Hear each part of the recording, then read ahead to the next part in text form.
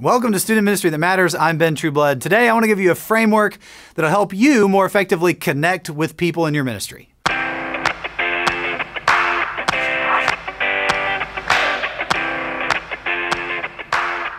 right, you're a student pastor. There's a lot of people that you lead when we think about students, parents, volunteer leaders, staff, everybody. There's a lot of people to connect with, and you need to connect, at least in part, to all of them. How do you do it? Well, today I want to give you a framework that I think is simple and easy to use that you can scale up to your needs at your specific context and be able to connect with more people more effectively. We know that connection and relationships are the engine of ministry, and so this is really, really important. So I want to begin with the scriptural case, and you're going to see the passages pop up here.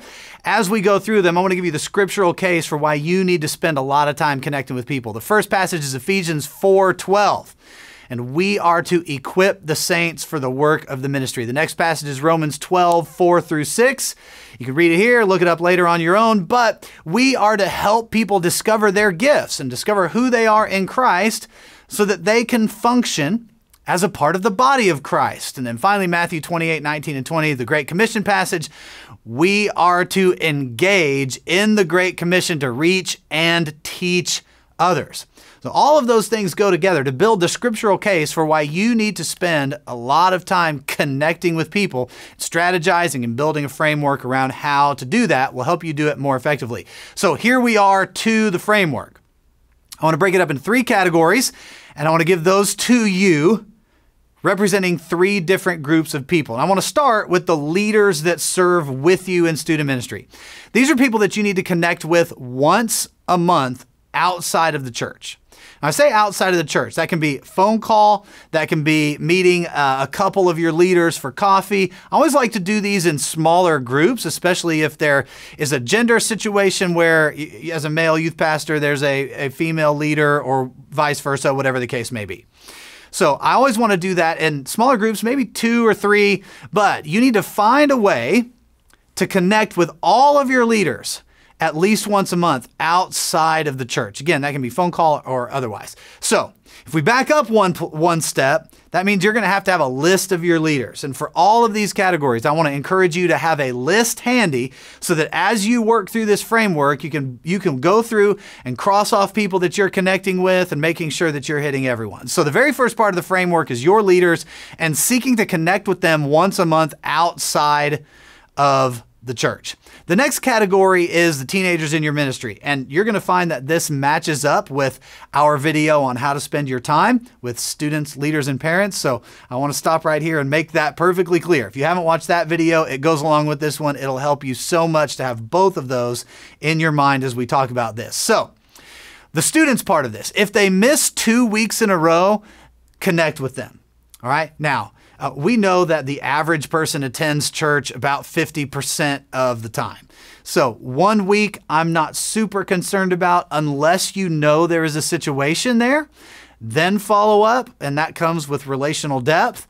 But if they miss two weeks in a row, they need to be connected with. Now, that can be from you, or it can be from one of the amazing leaders that you connect with that leads their small group. But I wouldn't go longer than two weeks if they miss coming to church without connecting with that person. Now, from your list, the ones that you regularly see, the ones that you connect with most often, don't worry about them you are going to find ways to connect with them. The ones that you naturally gravitate towards uh, on a Wednesday night or whenever your worship service is, the ones who naturally come up to you and find you, those are the ones that don't need extra connection. What you're looking for here are the students that you rarely connect with. And divide those students up so that you are seeking to connect with them once a month. Now, this can get really daunting if you have a large ministry which further emphasizes the need for you to multiply yourself, other leaders to come alongside you and catch the vision of this. So, again, any student that misses at least twice in a row needs to be connected with outside of the church.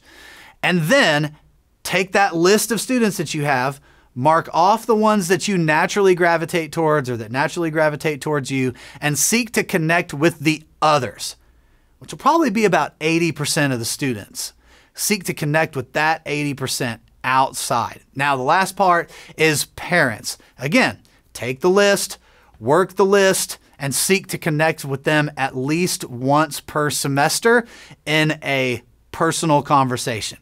Now, for both of these last two, this is where I find that extracurricular activities, sporting events that students are involved in, band concerts, musical theater, whatever the case may be for you and your context, this is where I find those events to be particularly helpful because you can make it a point to walk across the bleachers, wherever it is, to connect personally and have a conversation with that parent or even students that are in the stands. So remember, it's not always just a phone call or coffee.